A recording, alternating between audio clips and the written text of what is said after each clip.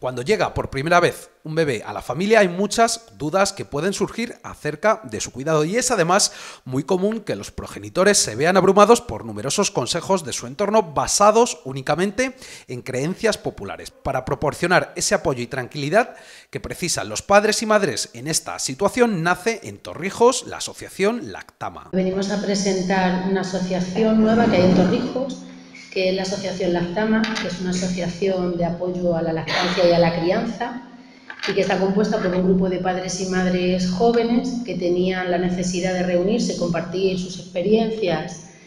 hacer cursos, hacer formación, eh, todo lo referente a lo que tiene que ver con la crianza de, de un bebé, que se pusieron en contacto con el ayuntamiento para presentarnos este proyecto y que desde hace unos meses, pero pocos, se están reuniendo en la sala de la sin sombrero del antiguo ayuntamiento de Torrijos con bastante periodicidad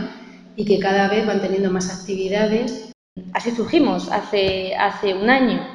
mmm, con el objetivo de, de, promocionar, de fomentar la lactancia materna y también la crianza con apego y de ahí viene, viene nuestro nombre, lactama, de, de lactar y, y, de amar.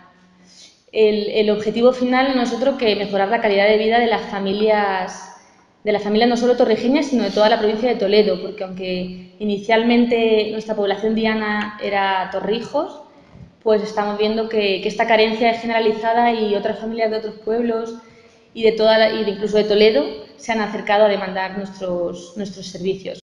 En octubre, Lactama comenzó con su nuevo calendario de actividades para este otoño, que desarrollan en la sala La Sin Sombrero del edificio municipal de Plaza de España. Concretamente, habrá sesiones de consulta sobre lactancia y crianza los días 5 y 18 de noviembre y el 2 y el 12 de diciembre. Además, diversos profesionales impartirán las charlas Parto Respetado 14 de noviembre, Exigencia Positiva 28 de noviembre y Proceso de Abandono del Pañal 16 de diciembre. Todas las reuniones y ponencias se llevarán a cabo en horario de 18.30 a 20 horas.